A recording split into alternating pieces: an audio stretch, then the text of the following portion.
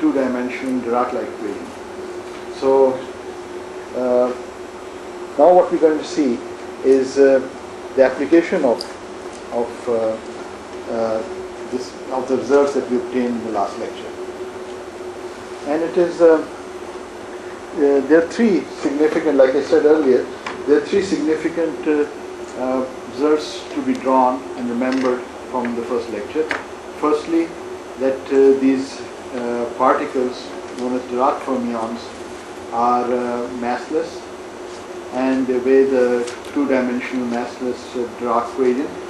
And thirdly, that they have this uh, important property that they are also eigenfunctions of the chirality operator. So they are they have these chiral eigenstates. And now in this lecture we are going to see what are the implications as far as transport of these things in, in terms of uh, transport. So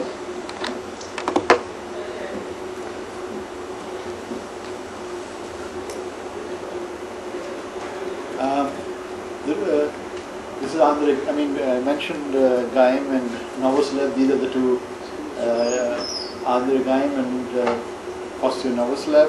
Geim was a professor, Novoselov was a postdoc in their group, and they were responsible for isolating single sheets of graphene. And an important uh, uh, result from their first uh, paper on uh, graphene uh, was that they also were able to show, like I mentioned earlier, that they were able to do controlled experiments, transport experiments on graphene, and they were able to show a very important result that there's a field effect uh, in graphene. What that means is that by applying a gate voltage to a graphene sheet, uh, you can have electron transport in one region when you apply a positive gate voltage, and you can have a have a have hole transport in the negative gate voltage range. So uh, in one system you are having electron and hole transport uh, by applying appropriate gate voltages. So that was a very important result, and uh, and and uh, we'll discuss its significance uh, later also. Another thing that they brought to light was that the experiments that they performed were quantum Hall type experiments. And in my third lecture, I am going to discuss. Let me just address this. In my uh, third lecture, I'm going to discuss uh, these quantum Hall uh, measurements. But the kind of experiments that they did at that time, just to uh, inform you, was that they had this uh, graphene sheet on a, uh, on a uh, silicon dioxide substrate. And uh, this, this configuration is a typical Hall type measurement where you have these probes for Hall voltages and this longitudinal voltage probes and, and, a, and a metal gate. Uh, and you can apply a gate voltage to a metal gate and tune the uh, number density uh, in graphene. So gate voltage controls charge on graphene. You can think of this as a capacitor, and the charge on the graphene sheet can be tuned by applying the gate voltage. That essentially uh, changes the number density on the graphene sheet, and in turn the charge uh, on the graphene sheet. Uh, and uh, as I mentioned earlier, another important fact is that the system has M bipolar, ambipolar conduction. What that means is that electrons and holes both contribute to conduction depending on what uh, gate voltage you apply to the system. And this, these are the micrographs where these Hall probes uh, are attached, and these are the graphene crystallites that they obtained and uh, did their experiments on.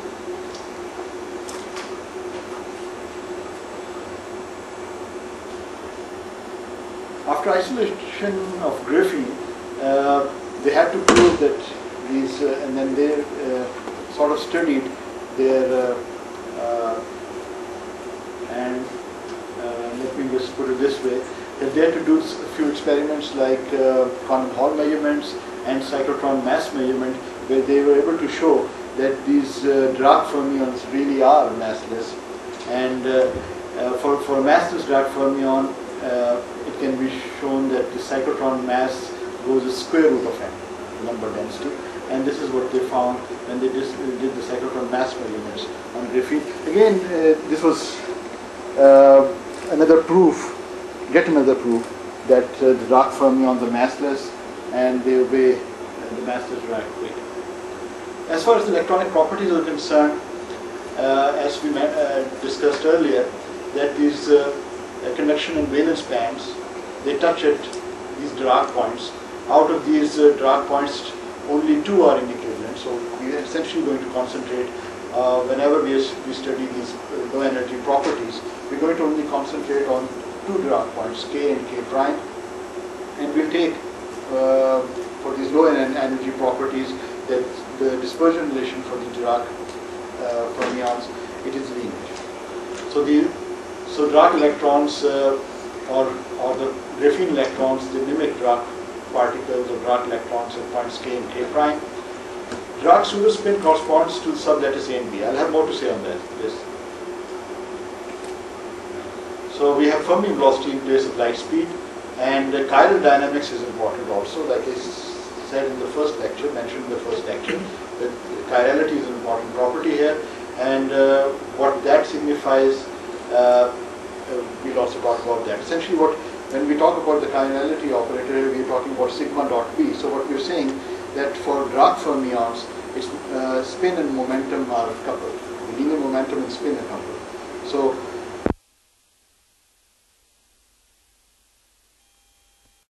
Dirac fermions and has important implications. Some of them being discussed.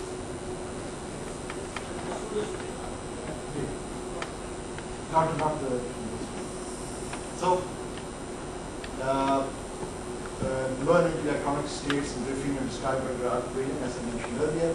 Mass zero, cyclotron mass measurements showed this. Quantum Hall measurements once again showed this fact. So there was uh, enough evidence when uh, when uh, they wrote up their paper, uh, time in in science, in nature. Uh, so, and the speed of light in this case is the Fermi speed. So Fermi speed of the Dirac fermions uh, corresponds to speed of light uh, for relativistic particles. The spinor, can, the components of the spinor can be interpreted in terms of the probability amplitudes to be on sublattice A and B. And uh, as I mentioned earlier, these emergent particles are very different from the original pi electrons. And they have very special properties. Some of these, these properties are mentioned above. And it is in this, uh, in physics, it is the spirit of more is different. It was a very important paper, sort of like, uh, uh, sort of like define the philosophy of physics to extent. There was a famous paper in science many years back by Philip Anderson, the Nobel laureate.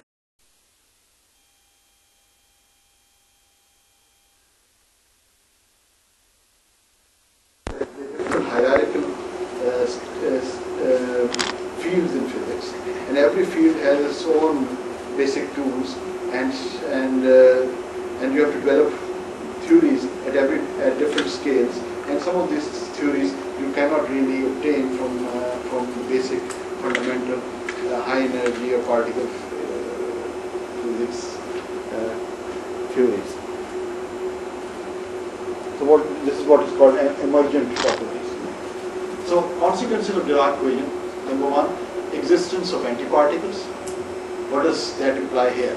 It, in the case of uh, Dirac, Dirac's uh, result, it implied positrons. But here, in this case, in a condensed matter setting, the antiparticles are holes.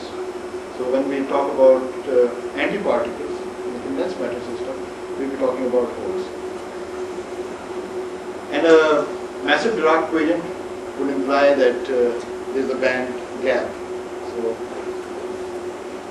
generate these band gaps in graphene. Oh, and so massless Dirac equation means that there is no band gap because conduction mass is right, oh, that's, that's good. Another consequence of uh, Dirac equation is the existence of spin. But in this case, uh, in our analysis, we did not include spin. So remember the tight binding relation we, and even if you, uh, uh, in a continuum approximation, if you derive the uh, Dirac two-dimensional Dirac variant relevant to graphene, uh, you don't include spin. Uh, and what, but you still get a sigma matrix appearing in the Hamiltonian. And in the, Dirac variant, what, what that uh, basically signifies is that uh, it is a sublattice lattice index and not the real spin. So if you want to include the real spin, you have to, by hand, put in the real spin. So psi A over here, for example, is, is the is a wave function of the electrons localized on the A lattice, but not taking into account the spin of the electron. not taking into account exactly. So it is the probability amplitude for the electron to be on uh, site A or atom A, and this is the amplitude to be on B, but taking not taking into account spin. So it- it- all without spin. then if you take into account, this will become a four-component object. Uh, if you take it into account spin, it will become four component. And if you take into account the two valleys, it will also become four component object without spin. But then it would be the other spin component sublattice index is going to come from the other valley. So you can have that four component uh, spinor if you include the two values or if you include. When you say two values uh, on the dispersion dis, dis, dispersion relation, where can I see those values? Because multi-value, where do I see the second value? I mean- no yeah, go on. Um, that, uh, we derived it for a single value, but trying to obtain equivalent, Oh, right, equivalent. equivalent because there are two inequivalent Dirac points. Uh, in- inequivalent in the sense that uh, all the rest of the Dirac points uh, are related to these Dirac points through reciprocal lattice. So they are equivalent to these.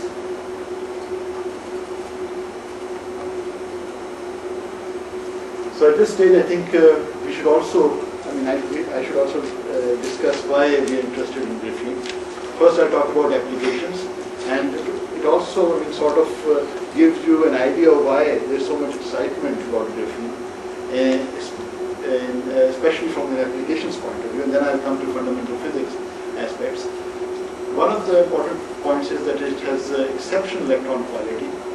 That uh, with very few defects, you can have crystallites of uh, an order of 100 microns and even larger. The mobilities are very high these are the highest of any known uh, material. The only comparable system is the 2DEG. Yes, Still, it hasn't still reached that uh, two but not at these temperatures. Not in India, exactly.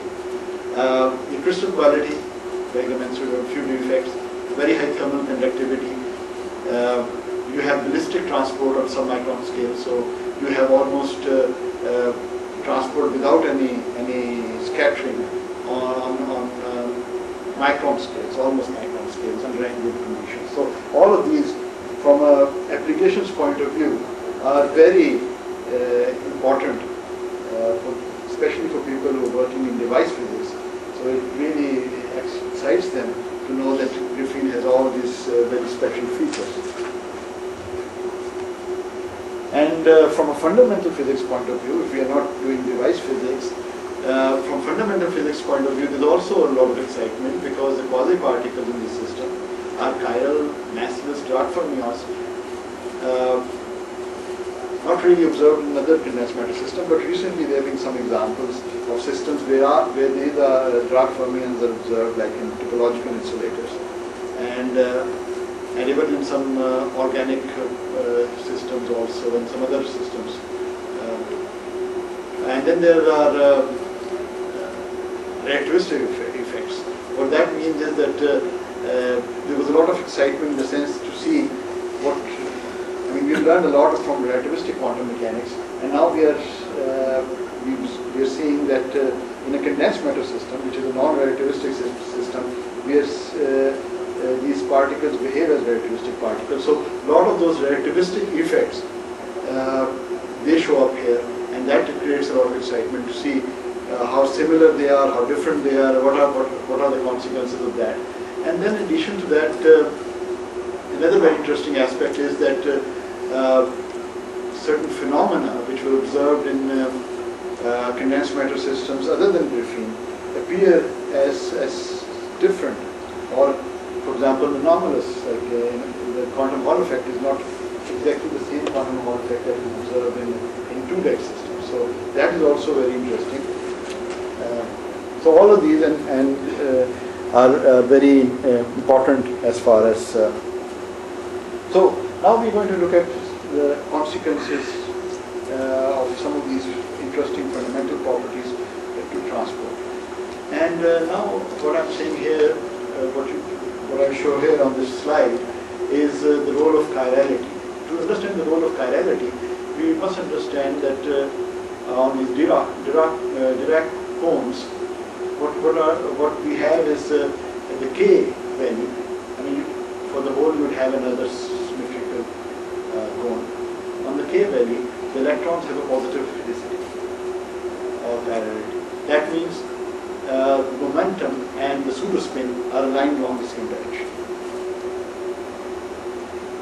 And if you go to the K prime valley, the helicity is opposite. So that means that uh, the electron momentum and the pseudospin aligned in the opposite direction. So uh, even this feature, chirality, has important consequences in transport. And chirality, uh, you must remember, is, uh, is what means here is that the pseudospin is tied to the momentum of the electrons. And in the K valley, electrons have this positive chirality, whereas the holes have negative chirality. Electrons have negative chirality or helicity in uh, on the K prime valley, whereas holes have the opposite. And so, what, what are the consequences of it? Let's look at one of those consequences. Um, uh, soon after the uh, uh, soon after Dirac gave his uh, relativistic equation, Klein applied that equation to the well-known problem of electron incident on the square band. I mean, that problem we are all familiar with from our quantum mechanics course. And uh, when he considered this transmission problem using uh, the Dirac equation, what he found was that uh, uh, no matter how high the barrier is or how wide the barrier is, for the incident angle, which is, uh, if it is an incident normal to the barrier, is complete transmission without any reflection, which is a very surprising result. And when I say how high the barrier is, I mean it's twice the rest mass energy of the electrons. So, uh, so that means if, if you have, even if you have an extremely high barrier, an extremely wide barrier, you get complete transmission and there is no back spectrum, which is unlike what we observe uh, in, in non-relativistic quantum mechanics because as you remember from your course, transmission probability decays exponentially with distance and height of the barrier. So this was uh, at that time quite a, a, a new thing in the sense that it was a surprising result and it was called Klein paradox. And when uh, so Klein paradox is transmission of relativistic particles is unimpeded even by highest barriers. So, so that result was explained by uh, sort of this paradox was sort of explained that there are negative energy states within the barrier. So those negative energy states align with the positive energy states outside the barrier and, and as, an electron transports as a positron to the barrier and reveals this electron beyond the barrier. I mean that, that was the sort of, of way to explain this, uh, this result. And so when, uh, when graphene was isolated, uh, Novoselov and Geim, they looked at the same problem and they said, okay, uh, uh, for Klein paradox to be in relativistic setting would require a field of 10 to the 16 volts per centimeter. That is unachievable. So perhaps because these particles are massless Dirac fermions, so perhaps much lower magnetic uh, electric field will be required to create uh, a barrier where Klein tunneling can be observed. So they looked at the same problem, and uh, but they use the, the Dirac spinors for, graphene, and and uh, this, used the standard incident. They, they considered this kind of a barrier, where this is the incident Dirac fermion, and uh, they wrote down the incident wave function in terms of the Dirac spinor that we talked about later, and uh, and and the psi 1 component and this psi 2 component. This is x less than 0, which is on this side of the barrier, within the barrier, and beyond the barrier. And the, the standard way to approach this kind of a problem is to match the wave functions, and you can determine the transmission probability. And the result that they found uh, in the limit of, a high barrier was, was this analytical result, t is equal to this quantity where phi is the incident angle. And what they found was, if you plot this result, is that uh, when the incident uh, angle uh, is zero, that means it's normal, normally incident on the barrier, there is perfect transmission without any backscattering. And uh, they interpreted this result by saying that it is due to conservation of pseudospin. What that means is that on this side of the barrier, uh, electrons, this, is, this energy is the Fermi energy of the electrons. And so the incident electrons appear here. Because of this potential, this Dirac current is shifted up. So you have these, uh, this, this, the Fermi energy in the valence band. And so the, the electron states uh, align with the hole. So it basically is, in condensed matter physics, not difficult to explain because it's like interband tunneling. Electron uh, tunnels uh, from the conduction band, goes to the valence band and. They explained it on the basis of also conservation of pseudospin, in the sense that uh, to electron on this, if, if you consider this electron, it has pseudospin pointing in this direction. To backscatter, it would require the pseudospin to flip. So it would, but to go as a whole inside this inside the barrier, the pseudospin is still pointing in the same direction. Because this is a negative branch of the, Dirac cone, and for the for the holes, the moment negative uh, the pseudospin points opposite to the momentum. So this negative momentum momentum for the holes is in this direction, and pseudospin has to point in this direction. So pseudospin on on this red line, pseudospin points in the same direction. So if Pointing the inwards, so called, pointing inwards. point, pointing inwards, yeah, pointing to the right. So on this, pseudospin is pointing to the right. So if it has to backscatter, then that means the pseudospin has to flip. So it has to go on that side. But uh, if you interpret this result as due to conservation of pseudospin, uh, you can explain uh, this absence of backscattering. So this, uh, they explain this on as, as uh, conservation of pseudospin because pseudospin can only be flipped if there is a potential, uh, short range potential, which affects the set, uh, A and B differently. Only then it would uh, cause the pseudospin to flip because pseudospin relates to uh, sub, sublattice index. So that was a, uh, uh, an important uh, paper where they showed this result. Another uh, transport problem where it became clear that perfect transmission occurs was more relevant device physics where it was considered that, a, that you can have an NP junction very easily in graphene because by applying gates, as you know, you can tune the charge carriers from electrons to holes. So if you have different voltages on these gates, you can have an NP region. And that this kind of problem can also be treated as a barrier problem with electrons, with, with some kind of a potential barrier step. If it's, it is smooth, uh, uh, And these people calculated this result. And they again showed that there's perfect transmission in the forward direction and again a manifestation of, uh, of chiral dynamics in the sense that. Conservation of pseudospin or, and so forth. Another problem where, uh, transport problem, where chirality has an important role to play is uh, strain outgoing, chirality. What this means is that uh, we're going to look at a certain transport problem uh, where, uh, uh, and this transport problem is important in the sense that this kind of a situation appears when the temperature is very low because electrons' wave properties are important in this kind of an application.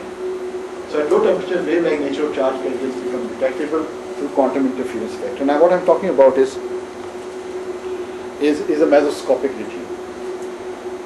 So mesoscopic regime, uh, to understand mesoscopic regime, we have to define certain characteristic lengths. One important length for electrons, like I said earlier, so quantum mechanical effects, uh, as far as electrons are concerned, one of the important consequences is that they have wave-like behavior. So one can talk about the de Broglie wave, and it's related obviously to the momentum of the electrons. Then there's another important length scale, which is the mean free path. This is the distance the electron travels before initial momentum is destroyed. And the third important length scale is uh, the phase relaxation. And uh, this is important in the, uh, in the context of if you're seeing, if you want to observe interference-like phenomena for electron transport problems, then the, the electron wave has to be phase coherent. And phase coherent to occur will depend on how far an electron can travel before its initial. And uh,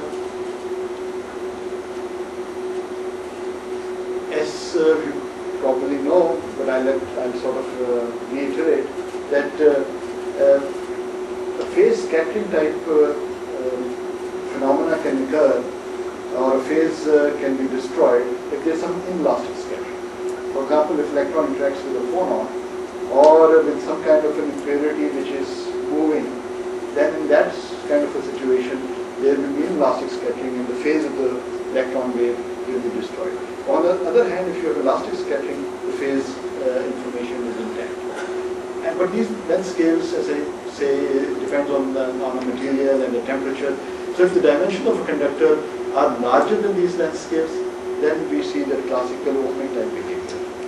But if uh, the length scale becomes smaller than, for example, the phase coherent length, coherence length, then you would observe uh, interference type phenomena, the typical quantum mechanical phenomena will occur. Otherwise, it will be washed out. And uh, that brings us to uh, weak localization phenomena. Uh, in uh, various thin films, metallic thin films, for example, this kind of phenomenon was observed. And what, what that has to do with is that the Hamiltonian has to be invariant under time reversal. Why is that important? I will come to that. And we have to consider paths which start and finish at one point. So classically, the return probability, and what we are interested in, is calculating the return probability. Why is that important? Because what we are interested in is the localization effect. And localization here is being defined in terms of the return probability. That is there the return is the return probability finite or zero? If it is zero, there is no localization because initially if you have an electron at one point, it will propagate further and further away. And the probability of coming back to the same point be very small. But in some instances, that return probability is very significant and that can be interpreted as a localization phenomena or in other words that the conductivity of the sample decreases. And here uh, you will find that classical and quantum effects, I mean you can uh, distinguish classical and quantum effects very clearly. So classically return probability is the sum of the probabilities of propagating along each path separately whereas quantum mechanically we have to sum the amplitudes and interference effects arise because of that.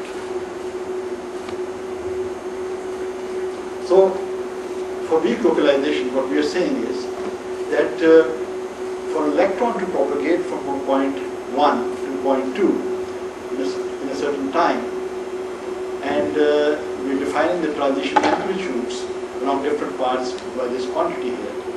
Uh, I'm suppressing all the, all the uh, dependencies on position and time, for, example. Um, so if you this this is the classical probability, and these are the interference contribution. So if you sum the probability amplitudes and square them, this term here corresponds to the classical result, and this is purely quantum mechanical interference contribution. But what happens is that for most paths, these because all of these different paths have random phases and these these cancel out. So you, you essentially get the classical result. But in one very special case it doesn't happen. And where it doesn't happen leads to weak localization. And that special case is if you consider paths loop back to the starting point. So in that case, if you consider this path going like this, so electron propagating, scattering from different sides and coming back, and electron propagating in the opposite direction and coming back to the same point, starting point. These two amplitudes are time reversed of each other. That means one can be expressed as a complex conjugate of the other. When you do that and sum these amplitudes up and square them to find the probability, what you find is a factor of 4 multiplying it. In the classical result, what you would have here is a 2. So what that means is that the backscattering probability is enhanced by a factor of 2. And this is what is called weak localization. And uh, time reversal of uh, that the Hamiltonian should be time reversed is important because uh, you'll find that if you apply a apply a magnetic field, it destroys time reversal invariance. Uh, in that case, weak localization is destroyed because that also adds a phase factor uh, randomly to the uh, these paths, and that can and actually that is the way uh, it is uh, checked whether weak localization is occurring or not. So we, we say that reduction uh, conductivity uh, due to enhanced backscattering is what is known as weak localization.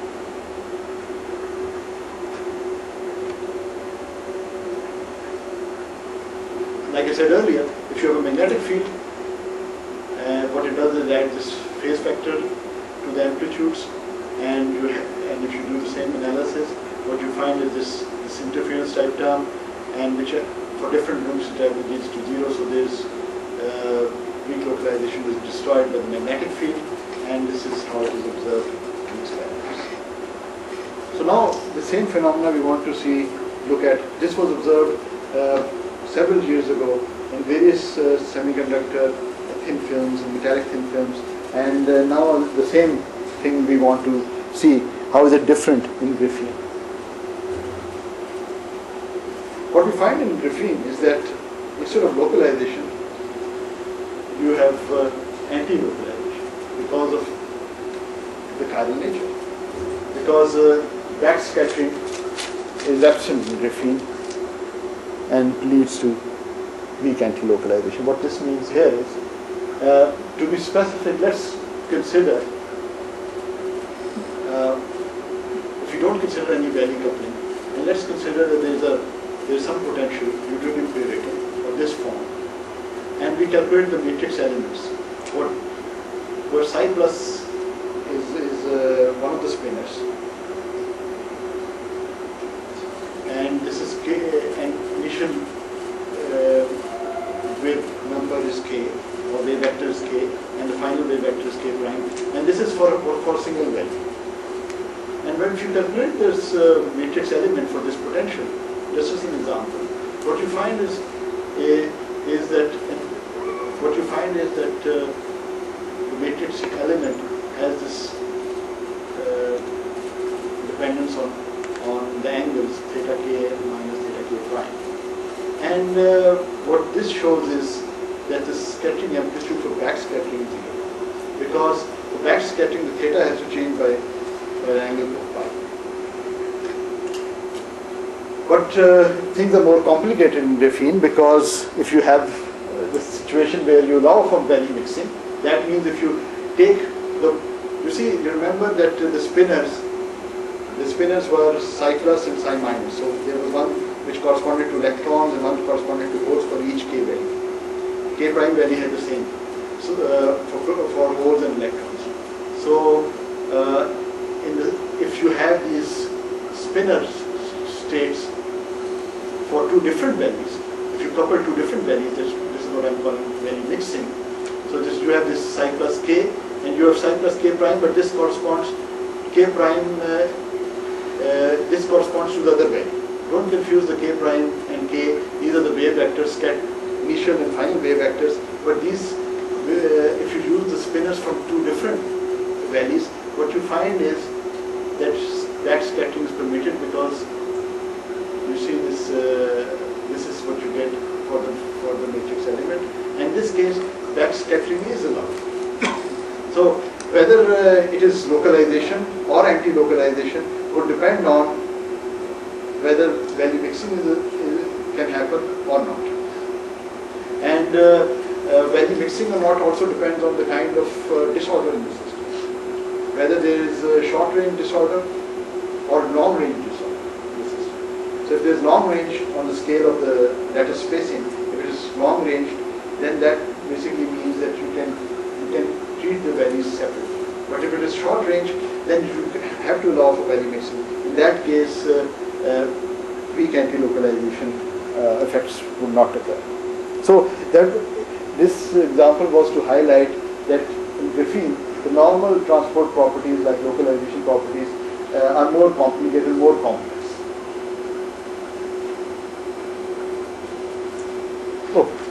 してやんだり先に。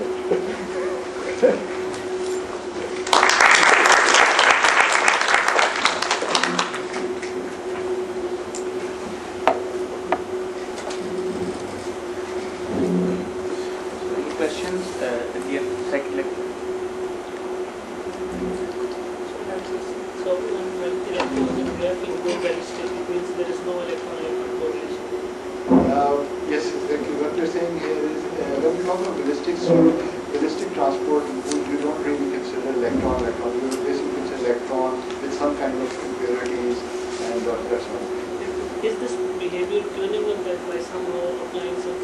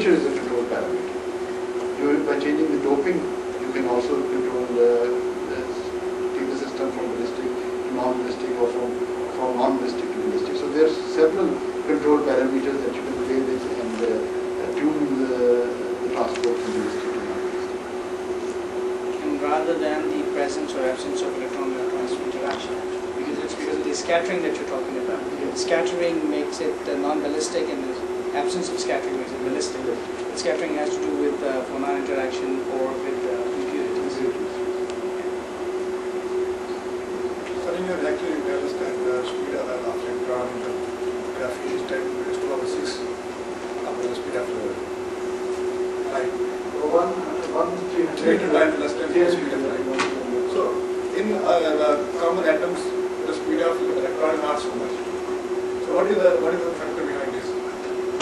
What is the factor behind this? Is this an acceleration?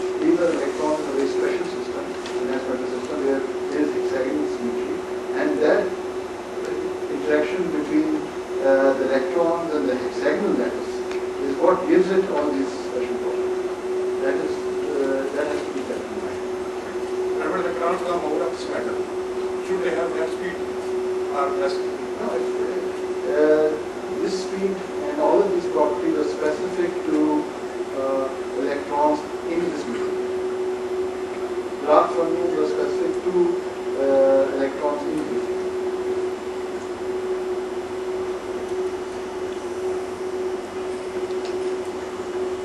Well, let's thank both of the speakers for today and I have uh, uh, two announcements to make. Uh, tomorrow the session will start at uh, 10 a.m. Uh, we'll have uh, three lectures tomorrow as well, two from Professor Riazuddin, one from Dr. Kashif and will also offer lunch tomorrow.